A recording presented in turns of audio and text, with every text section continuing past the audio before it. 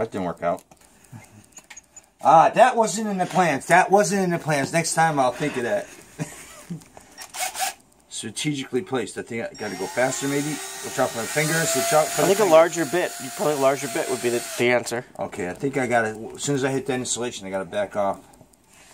See, you can't see it from the top. No. Yeah, once that's it. See, experience. Maybe a hole saw. Once they get through, because that insulation will breathe. Or the patty.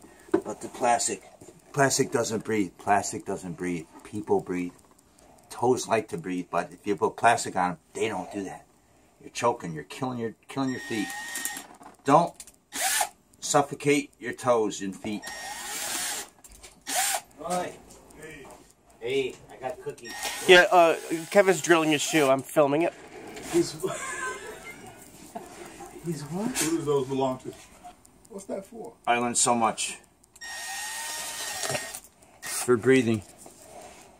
You're getting really good at that. You should maybe offer that as a service on Craigslist or something. Break the This going on Reddit? I, I don't know. I don't know. I just thought something terrible might happen and I should film it. If, uh, that second hole, man, it really the whole toe went like this. Yeah, I was hoping for a finger or something, but This is gonna catch on, you know. I, I'm sure. Sure it is. How long did that take? Oh yeah, it looks so good. Is that is that the new style right there? Yeah, it's like really streamlined now. Well, And now you got to get a black magic marker and Who's gonna notice this? no one, no one. Who would notice those big white dots on your? Yeah. Is this for? Uh, So my toes don't crack. They get so sweaty and they get soft. They get like they get white. You know, like you keep your hand in the water too long, you stay swimming too long. Then when at night when you're sleeping, you get all hard. And then when you bend, they crack. Okay.